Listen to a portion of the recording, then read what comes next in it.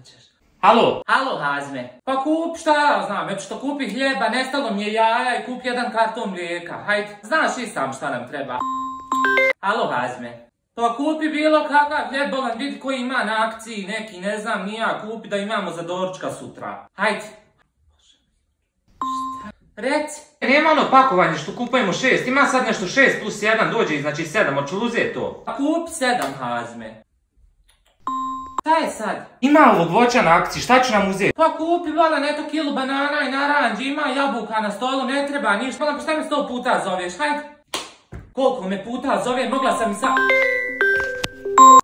Šta je željo živa? Treba li ti ove kafe u akciji? Ne treba mi ta kafa hazme, neki u akciji imam, donijela mi mu lekele leketa juče. Uzmi pošta sam te poslala i haj kući, nema mi više sad bogati. Crni hazme!